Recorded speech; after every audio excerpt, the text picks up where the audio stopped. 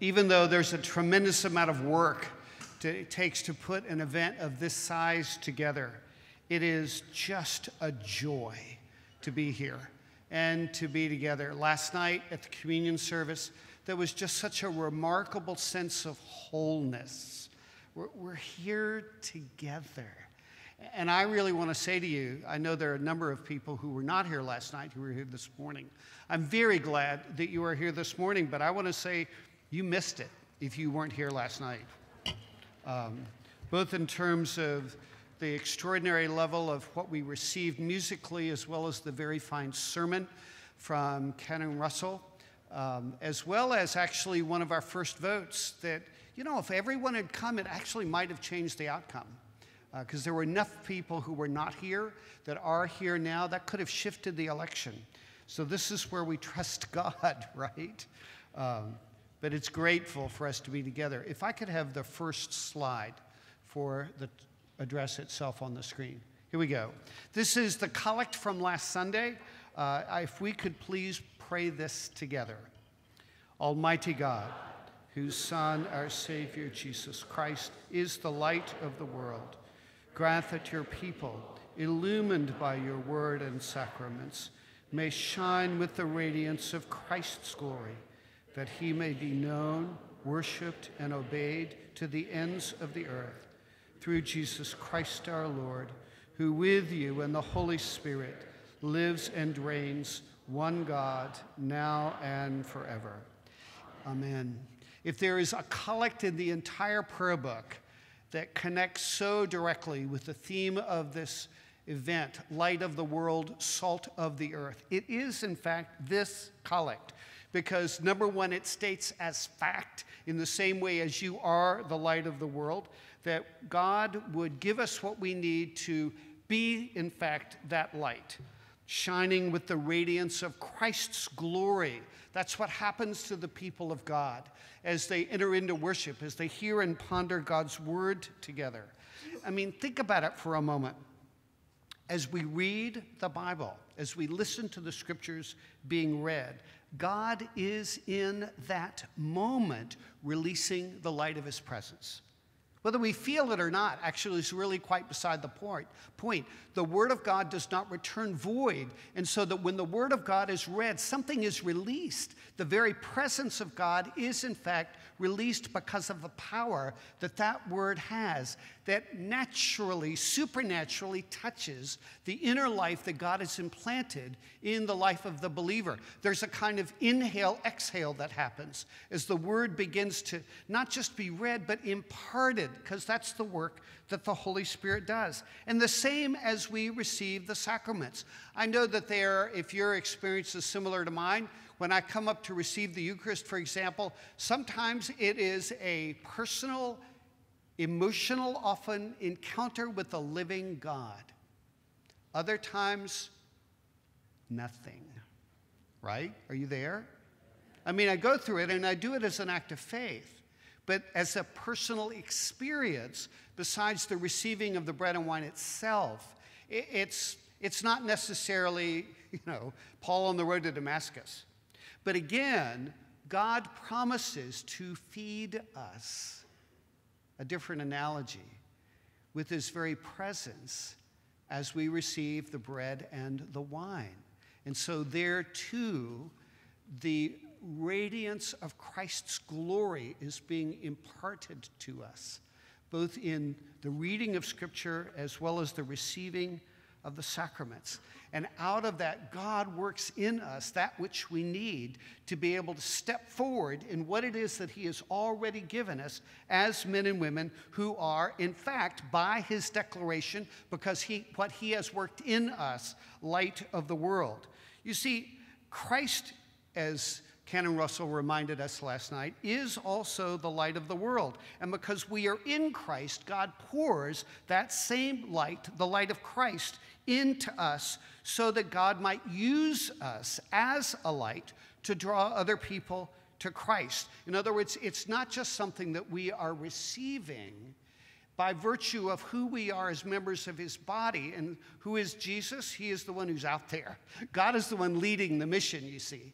And so, as we are saying yes to him and receiving what it is that he gives us, it is his intention that we not only receive, but be a channel, a, ves- a vessel. So we receive, in fact, the magnificent gift of the light of Christ, and in receiving that gift, we also receive our own vocational calling. God pouring the light of Christ within us so that we can live both individually and together as communities of believers in a way that Christ Jesus may be known, worshiped, and obeyed. That is what allows, in essence, us to be light of the world, salt of the earth. I have to tell you, when we contemplate, or at least when I do, even briefly, the idea that Jesus calls this gathering of poor sinners that we are, the light of the world, literally, the light of the cosmos, salt of the earth, I find it absolutely staggering. It seems impossible, quite frankly, too big to even imagine. And yet Jesus states this as fact, not as mere hope. You are the light of the world, you are the salt of the earth. God is pouring his light in us and is also pouring his light through us into the world. And while I certainly cannot comprehend the fullness of its meaning, I would like to offer some brief implications. Because, because when you really say, like in the very depths of who you are, God has made us the light of the world, I don't know, my back straightens up. I feel like there's a dignity, there is a purpose about this. There is, in fact, a life's work in it. And it does, in fact, empower. Because you see, as people who have received the light of Christ and are a channel for that light, we don't need to be afraid. What does it say in Psalm 27? The Lord is my light and my salvation. Of whom then shall I be afraid? Because as Paul says, nothing can separate us from the love of God that is in Christ Jesus our Lord. So the answer, of whom shall I be afraid, is no one. I can do all things through Christ who strengthens me. And as people who have received that light of Christ, we can trust that God will not only empower us, but also guide us each step of the way. Because Jesus promises in John 8 whoever follows me will not walk in darkness, but will have the light of light. You see, what does it say in the 23rd Psalm? He leads me along right pathways for his namesake, even in the valley of the shadow of death. So, not only is the light of Christ that which empowers me it is also operates, as it were, like a kind of halogen beam that gives me the capacity to take one step at a time, trusting that no matter what's going on in my circumstances, God is working things for the good. He is empowering me with what I need to be able to meet even the most difficult of challenges. In other words, the promise of His guidance is not at all a promise to be free from hardship. In fact, it fact, actually might lead us into hardship for the sake of the gospel. And yet, we will not walk in darkness. And as people who have received the light of Christ, that light, as I said, brings with us all that we need to fulfill the vocational calling of let your light so shine before others that they may see your good works and glorify your Father who is in heaven. You see, in our day and age, what I believe many in the world are longing for are men and women who are willing to act with that kind of dignity, that kind of confidence, that kind of poise, even in the face of uncertainty, even in the face of great hardship. So that no matter what it is that we endure, we trust that God will never let us go we trust that He is holding us in the palm of His hand. He gives us what we need to even face the worst of challenges, knowing that even when we feel nothing, we can still say, I can do all things through Christ who strengthens me. It is exactly that kind of witness among family, friends, neighbors, enemies, coworkers, that in the midst of actually the difficulties of life, God gives us the capacity to pray, to reach out in need, and to walk with a sense of His possessing us that allows us to serve the world in that way. Because I believe in this day and age, to be the light of the world means to be a servant church. People who are willing to go out of their way to make a difference in the lives of other people. You, you see, as you well know, the caricature of who we are in the media is that we're basically slightly mentally deranged, seriously dangerous, members of the Flat Earth Society, perhaps even financial swindlers or sexual predators. And for us to begin to actually be a witness among people who do not know Christ, we have the challenge of, in some ways, getting on the other side of whatever caricature they have of people who call themselves believers in Jesus. And more often than not, the way that happens in being us is that we step out of our way. We choose to show up to make a difference, even if they are people that we do not know, because God gives us the capacity to look beyond our own self preoccupation and to see the need. You see, the calling to be salt and light is the opportunity that God gives us to make a difference in this profoundly hurting community. That calling to be the light and salt came to us not long ago through Hurricane Dorian. Hurricane Dorian has been called the worst natural disaster in the history of the Bahamas, one of the most powerful hurricanes recorded in the Atlantic Ocean. And when the storm struck, people flew into action, some of them literally catching the last few flights to Grand Bahama Island so that they could be available to be there and serve. Most Central Floridians know what it is to live through a hurricane, right? And out of that, funds began to pour in, gifts large and small, including a $10,000 anonymous gift from someone at Holy Trinity Episcopal Academy. It was not limited by a long shot to our churches. The money we received and was and continues to be sent directly to the Anglican Diocese of the Bahamas. As of this week, we're still getting funds. The total is over $264,000 easily one of the largest offerings to an emergency relief effort in our diocese history. And that total does not include the direct involvement of numerous individuals and congregations in re relief effort. I could take a long time giving you examples, but I mean, a lot of people have helped out. The Bishop of the Bahamas and Turks and Caicos Islands, the Reverend Laish Boyd, has expressed his sincerest gratitude. He is aware and knows of our prayers. He continues to send me very detailed reports of almost unimaginable damage, including some of the photographs you see on the screen. At this point, the rebuilding has begun in earnest, Everyone who needed to be evacuated to the various islands has done so. In fact, whole congregations have relocated, like from one of the islands in the, Bahab, the Abacos that was hit the hardest, to Grand Bahama Island. And the priest actually serves his parishioners who were in the Abacos in Grand Bahama Island. Emergency food distribution is ongoing, and Bishop Boyd continues to relay his sincerest and tremendous gratitude. As true with Hurricane Dorian, servanthood does, you see, mean financial generosity. I, I, was talking to a priest at dinner last night who was in some ways complaining about the fact that he has a parishioner, even a vestry member, who gives almost nothing to the budget, but yells the loudest about wanting to make sure where that money goes.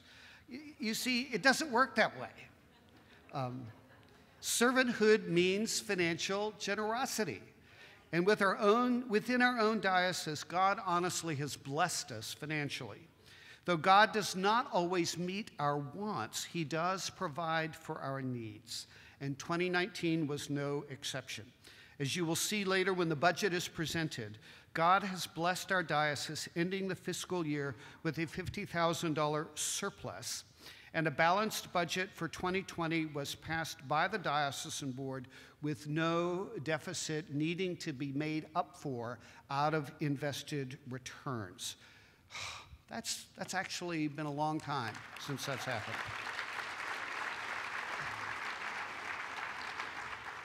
A balanced budget is the result of several important factors. First of all, of course, is God, who promises to provide for all of our needs according to his riches and glory. Every good and perfect gift comes down from the Father of lights. But the second is the remarkable sense of fellowship and camaraderie that we share here. We understand in a way that just continues to grow in its impact that we are on mission together.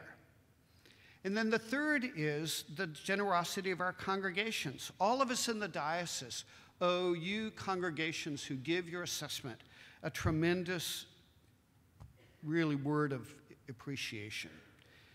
But you see, there continues to be this growing sense of shared financial responsibility. We are not in it for ourselves. The point of our budget is not to just pay the light bill. The point is to have the kind of capacity to release new people into ministry, to inspire new opportunities for service, to continue to build overseas relationships with our sisters and brothers and the rest of the Anglican Communion. In other words, God help us if our budget is merely maintenance. It's bigger than that, far bigger than that. I mean, I'm happy to give my own tithes and offerings and those of our family to make sure the staff gets paid that things happen in, the way, in a way that actually feels like it's orderly and people are taken care of. But the real point is, again, that he may be known, worshiped, and obeyed to the ends of the earth. And that is, in fact, meant to be reflected in even, and in fact, perhaps even more importantly, in our financial documents. And this, I think, is beginning to catch fire in a way that, for me, is just tremendously exciting. And this is demonstrated by the trend upward in our congregational giving and a trust that we have in those who manage our finances. In fact, we have a superb financial commission, a strong diocesan board, and an outstanding chief financial officer in Earl Pickett, all of whom, oh, I know.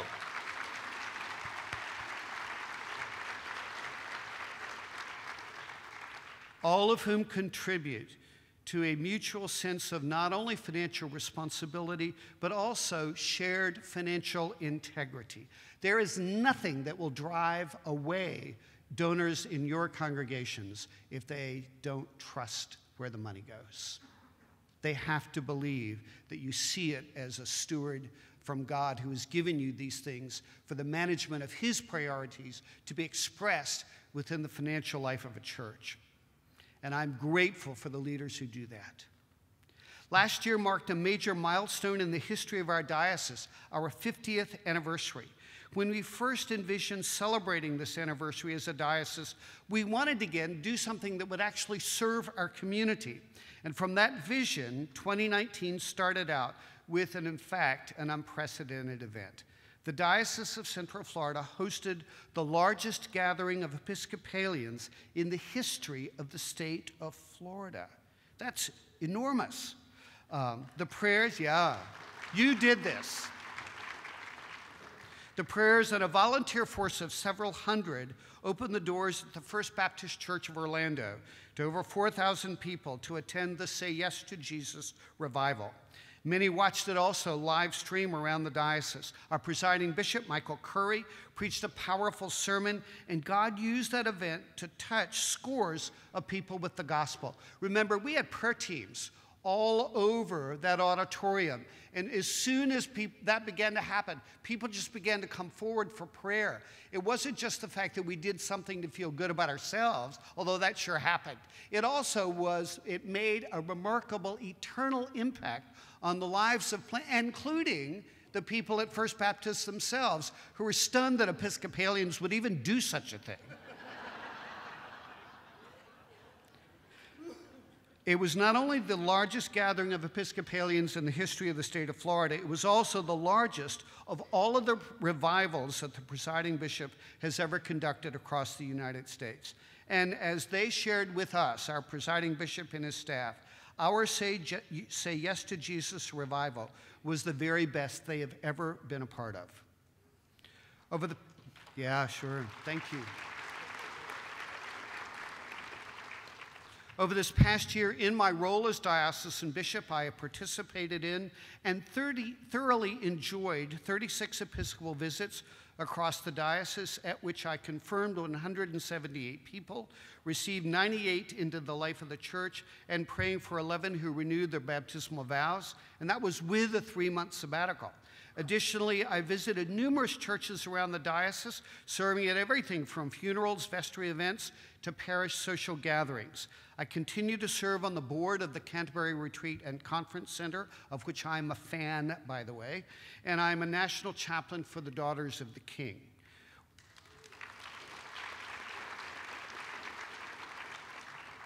P.S. If you need prayer warriors, get the daughters.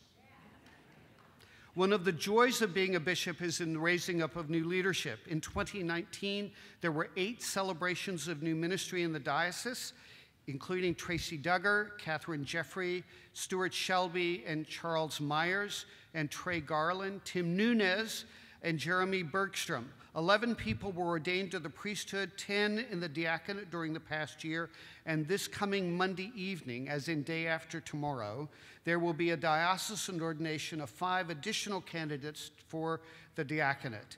Daniel Pinnell from Berkeley, California, who is at Jesus de Nazareth, going to Grace Church Ocala, Stephen Heisler, sponsoring parish St. Gabriel's, assigned to St. Mark's Cocoa, Jennifer Grady, sponsoring parish and assignment back at St. Francis in the Fields, Louisville, Kentucky, Beth Hall, sponsoring parish and assignment St. George in the Villages, and Joe Dewey, sponsoring parish Grace Church Ocala, assignment All Angels Episcopal Church, New York City. These ordinations have not been limited, as you just heard, to the Diocese of Central Florida. Our canon for vocations, Justin Holcomb, our commission on ministry, and our standing committee have been working together each year to raise up new clergy, not only in the diocese from around the country.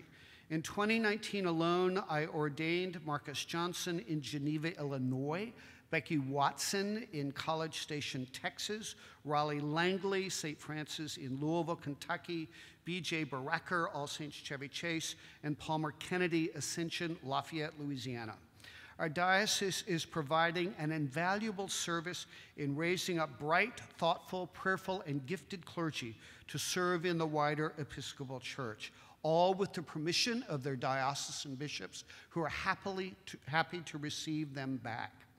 While all ordination services are an honor and a privilege, and I mean it, Two priesthood ordinations from last year stood out as particularly remarkable.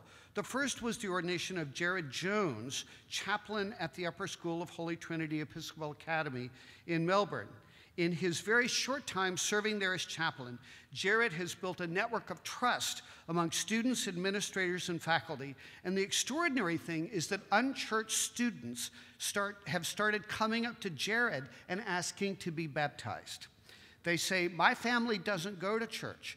My church is our school chapel services. May I be baptized here? And it's happening. Private school parochial people, take note. So we thought it only fitting that Jared should be ordained at a school chapel service. A first for me, a wonderful event in the life of Holy Trinity Episcopal Academy, but interestingly enough, not their first ordination. A while ago, Rob Goodrich was also ordained at the Chapel of Holy Trinity Episcopal Academy. I, I, just want to say as a PS, and this is slightly off script, I love going to the schools. I love meeting with the religious service people. I love meeting with the religious studies group of students, all of whom are all kinds of different religions, because we as policy open the door to anyone, regardless of faith. But there are those who want to be a part of what it is that we're doing. The only stipulation we make is that if you come to our school, you do have to attend the chapel services and attend any required religious classes that we have. And most parents are absolutely fine with that. And the engagement that I have had, particularly with Hindu and Muslim students in those schools, has been nothing short of remarkable. It's really fun. I want you to know that I have no sense that when I'm talking in an interreligious gathering, I have to sort of dumb the presentation down to a kind of, well, we really all believe the same thing, universalism. Just the opposite. It is an invitation, and what they want is for me to talk clearly about the distinctives of what it means to be a believer in Jesus Christ. They honor that, they respect that as a position, and they want to be in dialogue about how we are both similar and different. It is just one of the best opportunities right now. I love it.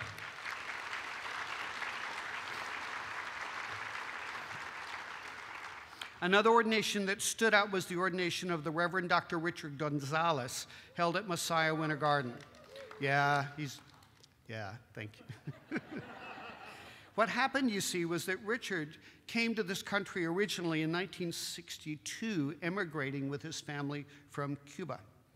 So, in the providence of God, as it just so happened, the Right Reverend Griselda Delgado del Carpio, Episcopal Bishop of Cuba, was making her first visit to Central Florida at the very time of Rich's ordination. So, of course, I invited Bishop Griselda to join me in the ordination. She joyfully accepted, and to have two bishops, one from Rich's homeland and one from his now home diocese, was for Richard coming full circle.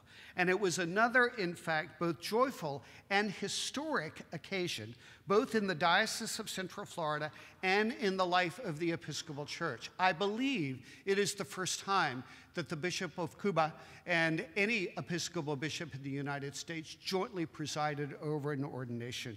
And she is amazing, by the way. Worth getting to know if you don't know her. And she'll be back. I continue to be involved in the life of the wider Episcopal Church and within the communion.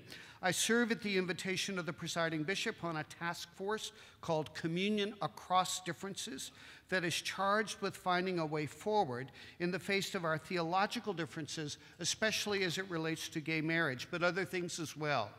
And we don't we don't skirt anything. And so as a result, it really can be tough slogging and some of our theological differences seem intractable, perhaps even irreconcilable, but we're working together. The very existence of this task force indicates that both in the Episcopal Church and in the communion, we are still very much a divided house over the issue of same sex marriage. And we are committed to trying to find a way to resolve these differences, really, both at the international level as well as in the Episcopal Church level. This is not a power grab on either side. Some of us have participated in listening sessions, which actually were manipulative ways to get you to think differently. That's not what we're doing, but instead, there really is a concerted effort to continue to discern both within the Episcopal Church and the communion. Your continued prayers for this matters deeply and deeply appreciated. I recently invite, was invited by my alma mater, Virginia Theological Seminary, to participate in a similar international consultation on the very same issues addressed by the Communion Across Difference Task Force. Bishops of various opinions, as well as some very talented theologians, not the least of which is the Reverend Dr. Katherine Sonderegger of VTS. Clergy, if you don't know her systematic, she is worth it. It is lyrical and is doxological in terms of the way she writes about her doctrine of God. She was amazing, as were many of the other presentations.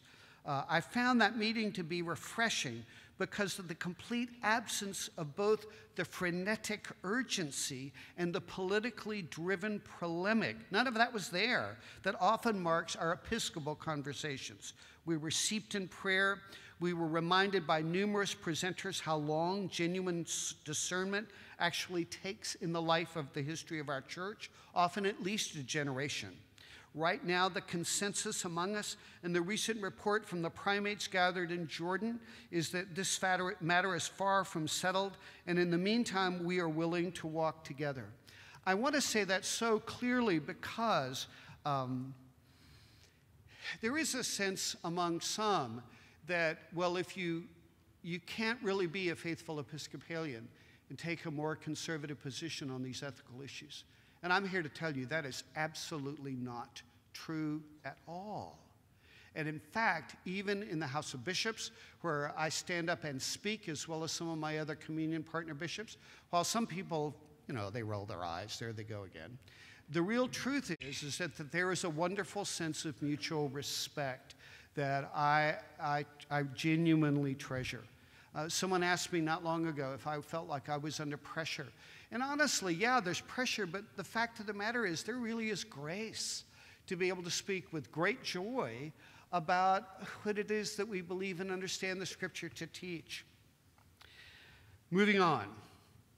Last year marked the seventh year of my episcopacy, and while this in and itself was a cause for thanksgiving, I am grateful beyond measure to have the opportunity to serve, and out of that meant that I contractually was eligible for a three month sabbatical. Thanks to the generosity of individuals from this diocese, I was able to take that sabbatical, actually, the only three month sabbatical I have been able to take over the 40 plus years of my ordinations.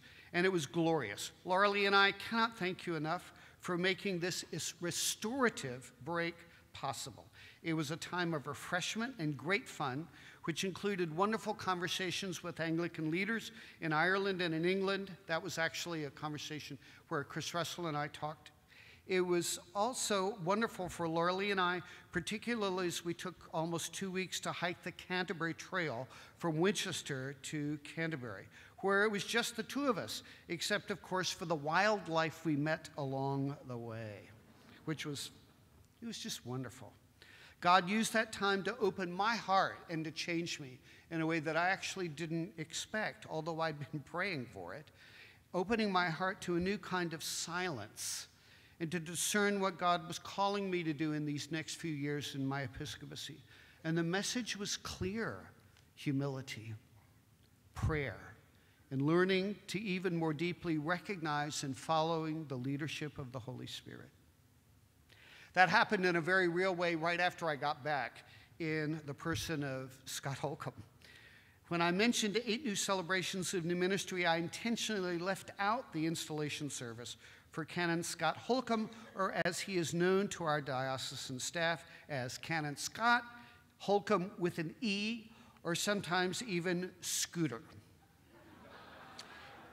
His coming on diocesan staff can best be described as an answer to prayer. He is up for the challenge, gifted at multitasking, a bulldog about detail, and ready for a laugh. He crisscrosses the diocese at an alarming rate, hence the name Scooter, and manages to keep every file on each church in order. I don't know how that happens. He can be tough wonderfully kind, and always with his wife Lenora by his side, an amazing baker and host. One of the biggest concerns I had when I returned from my sabbatical was that who would be the next canon of the ordinary. I'd spoken to a number of highly recommended people, and there was never any green light inside regarding who that should be. You know, who, God? It wasn't until after I returned from sabbatical, had lunch with Scott, that I saw it. Scott's just telling me about where he'd been and what he'd been doing while I was away, connecting with other clergy besides the great work at St. David's. And as I listened, it was like, well, there he is. the right guy at the right place at the right time. So, Scooter, I cannot tell you how pleased I am that you are also now on our diocesan team.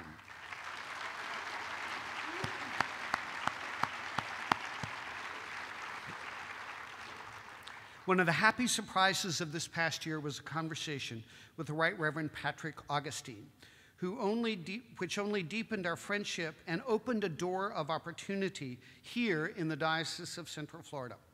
Bishop Augustine presently serves as the Anglican in the Anglican Diocese of Bor in the country of South Sudan. Remember, there are two countries now in the Sudan. Prior to being elected bishop, Father Augustine had a successful tenure, long term actually, as the rector of Christ Church in La Crosse, Wisconsin. Father Augustine had visited South Sudan off and on for decades, and the people there knew and trusted him. So it was no surprise when he was elected their bishop, although it was highly unusual for an Episcopalian to be elected a bishop in southern Africa, and it was not without controversy, I have to add. But with the express permission of the presiding bishop of the Episcopal Church and under the authority of the Anglican Archbishop of the Sudan, the election was confirmed, and Bishop Augustine, even now, is in South Sudan. And so he sends me, in fact, if you follow Facebook, he posts something almost every day about what he's doing while he's there. Here is the opportunity for us. Bishop Augustine retired with full pension as a priest in the Episcopal Church. So, by his own admission, I don't need any salary. I own a home in La Crosse. But the civil war in the Sudan has left southern Sudan full of charred remains of what was a thriving and mostly Christian culture. The Civil War left almost all of the buildings that housed Christian ministries, schools, hospitals, relief agencies, and churches burned to the ground. Bishop Augustine has the challenge of not merely pastoring a group of people, all of whom suffer from some kind of trauma, but also rebuilding the infrastructure of a society. Because of the war, no one in Sudan has really much money to do any building for any sort of relief effort. A, and so that's his real charge. And in fact, honestly, one of the reasons he was elected, besides the fact that they love him, is that they don't need to pay him a salary. Um, but Bishop Augustine and I came up with a plan, and this is not just limited to us. What if Bishop Augustine visited our churches over a marked period of time, officially as my guest, able to preach, celebrate, and confirm, if we were to invite him? We could privately raise the money to help his diocese in Sudan and cover his travel and lodging, because that's all he would need. He would stay annually for three months during their rainy season when they tell him, We don't want you coming because the roads are washed out. There is a high chance that he could contract malaria. And so it is really better for he and Vera, Vera, his wife, at that time to be out of the country, which would be basically what we would call, well, March, April, and May around then. Presently, there is no line item in the budget for this, but there is a lot of enthusiasm for his coming. He was here for our clergy conference and met a lot of the clergy. He has an infectious love for Jesus. He is an enthusiastic preacher and is the very definition of a spirit filled servant.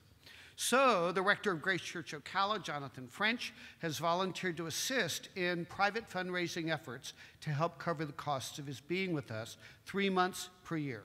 Our hope is to privately raise, for the four years left in my episcopacy, approximately 40,000 per year to cover travel, as well as to send a significant chunk of that money back to his diocese. Uh, if you are interested further in being about any, in that, any of that kind of fundraising, please let either Father French or me know. Also, we're going to organize a team of people, a small group, who will be a kind of pastoral connection, both to pray for and stand with Bishop Augustine, as well as to coordinate efforts that we might make for that diocese. And um, Dan and Evelyn Smith have already volunteered to help do that. In fact, Evelyn has been bravely, often on her own, in Sudan on a pretty regular basis. So they know what they're getting themselves into. Uh, so if you're interested, please talk to any of them. The new year began with a bang, meaning 2020, with Pinder Palooza, or the Pinder Extravaganza.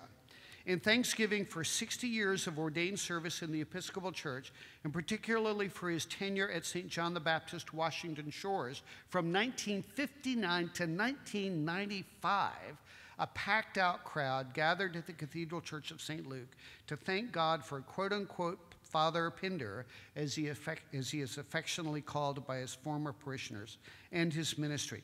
The presiding bishop returned to our diocese to preach. A mass gospel choir led us in worship.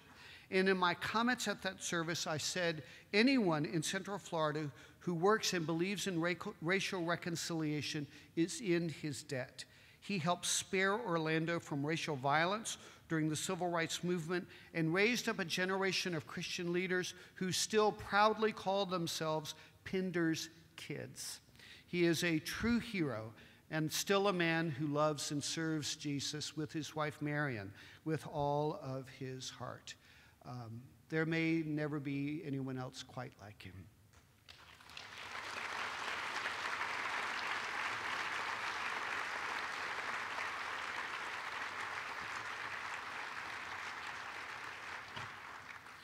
Turning around the bend toward the end.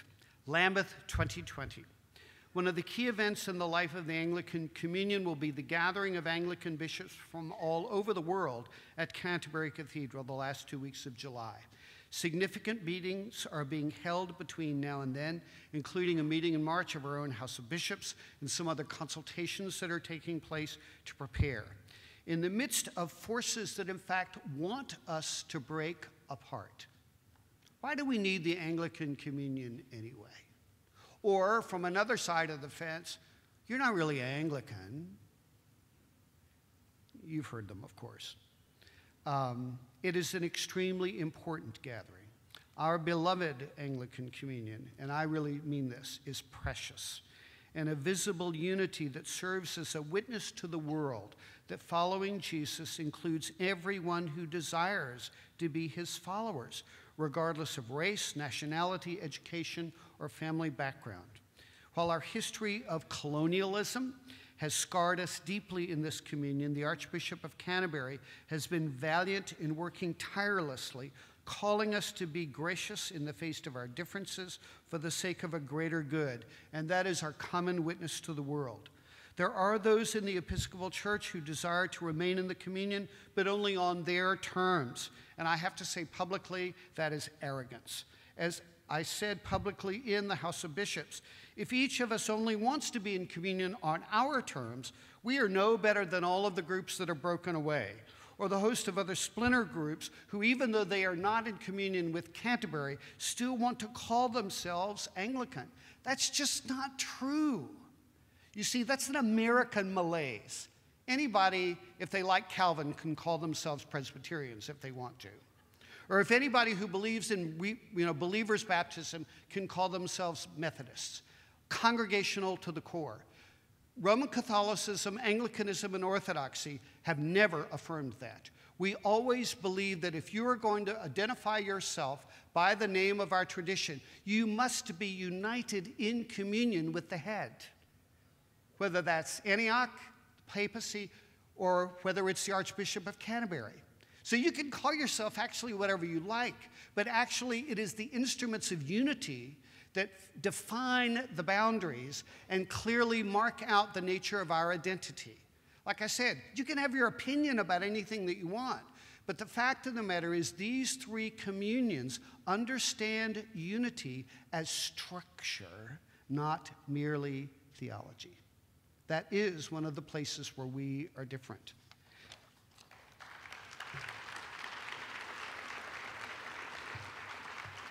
So while there are a few bishops in the Episcopal Church who are choosing not to attend Lambeth as an act of protest because gay spouses are not invited, the presiding bishop is calling the bishops of the Episcopal Church to go, and I am looking forward to attending on your behalf. I would never want to end my diocesan address, however, without expressing my gratitude for the team that God has given us. I'm grateful to God for Sarah Caprani, who always has a pop tune going on her computer and always makes me look good.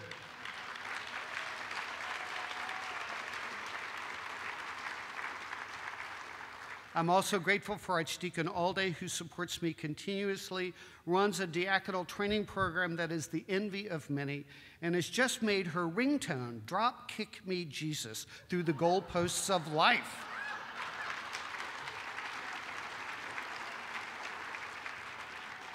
I'm grateful to God for Canon Justin Holcomb, who is quick thinking, has a tender heart, loves whiskey, always sees the brighter side, and is ever up for the adventure of a new challenge. I am grateful to our Chancellor, Butch Wooten, who is never without resources, who always brings together the best of legal teams for any situation, and whose valuable opinions always start with, you know, it occurs to me and after that pause, you better be paying attention. Also, thank you to Vice, Vice Chancellor Bill Grimm, who could write the book on constitutional law and church bylaws. Your expertise is a ministry and gift to this diocese. Similar thanks to Wendy Leach, our communications officer, who has continued to up the game in this diocese in terms of our online communication as well as the diocesan paper, which is better than it is better than it has been in quite a long time. I'm also grateful to God for our support staff Marilyn Lang, Beverly Jennings, who we call the epicenter of St. Cloud, Ellen Seeley, and Eric Perez. We are so grateful to all of them who put in far more hours than their salaries reflect and are willing to pitch in whatever is needed, regardless of whether or not it is in their job description. We are more than a list of employees. We enjoy each other's company, we pray together, and above all, we are a diocesan team whose pleasure it is to serve God and what God is doing in the Diocese of Central Florida. As the Bishop of the Diocese of Central Florida, I go into 2020 honestly a very grateful man. I'm grateful for the opportunity to be able to serve you. I still just love it. You are a people who deeply love Jesus, who hunger even more deeply for expressions of the kingdom of God. I look forward to our continuing to discern together what it means to be salt and light. I'm overjoyed that I can represent this diocese to the wider church and tell the stories of how God is blessing us with opportunities and challenges that cause us to humbly rise to the occasion, confident in the mercies of God. I am more than grateful that I can say for Laura Lee, a wife who stands beside me as a partner in ministry, is my closest friend and continues to be amazing mother and grandmother. And you need to know that there are places where she's more popular than me. I still remember, I won't tell the church, but I pulled in. Laura Lee couldn't attend. There was a spot, of course, for the bishop. Somebody was standing there to help me with my things. I get out of the car. His first words, not even hello, was, Where's your wife? Which was fine by me, by the way. I always stand in need of prayer. I thank God that I am ever receiving it. I continue to be blessed and changed by God in this office more than I could ever deserve. Thank you, as well as God, for an amazing year, and thank you very much for the honor and privilege of serving as your bishop.